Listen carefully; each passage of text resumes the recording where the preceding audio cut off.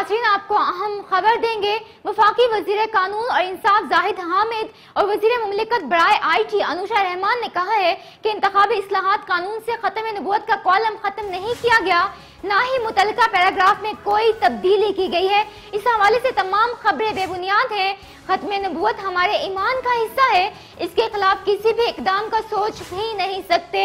Election اصلاحات قانون میں ختم نبوت کا کالم ہو بہو موجود ہے بل منظوری کے وقت سب خاموش رہے اور اب شور مچا رہے ہیں، جو ہماری سمجھ سے بالتر ہے، جبکہ انیس سو پچہتر میں ذوالفقار علی بھوٹو نے پولیٹیکل پارٹیز ایکٹ سے 203 کی شک کو ختم کیا تھا، تو اس وقت کسی کو خیال نہیں آیا۔ پیپلز پارٹی کو پیناما کے فیصلے کے بعد خیال آیا کہ اس شک کا فائدہ نواز شریف کو نہ ہو جائے۔